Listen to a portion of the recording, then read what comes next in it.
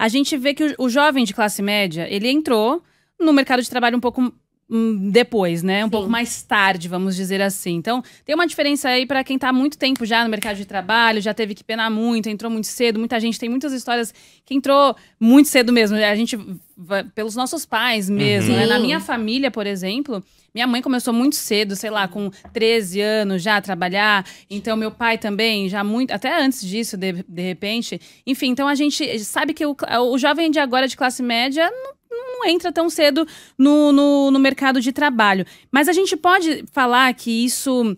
Então, é- essa, essa questão da demissão silenciosa, do quiet quitting, é uma coisa mais da geração Z e principalmente desse jovem aí de classe média? Sim, é geracional, uma vez que também a gente entende que tem uma questão, é, principalmente falando do burnout, né?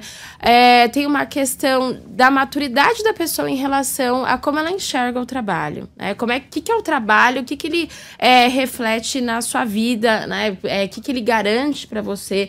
Então, a partir do momento que a pessoa tem um amadurecimento em relação ao seu trabalho, ela consegue estabelecer limites, mas ao mesmo tempo é, aumentar o seu próprio limite até onde ela consegue ir. Ela aumenta um pouco essa fronteira, né? E aí começa a pensar é, o que, que esse trabalho pode trazer para ela, né? Diferen é, não tem uma questão muito de propósito, não no sentido, é, no sentido de ela tem um propósito no trabalho, mas ela tem propósitos mais individuais, né? Não o fim não é no trabalho.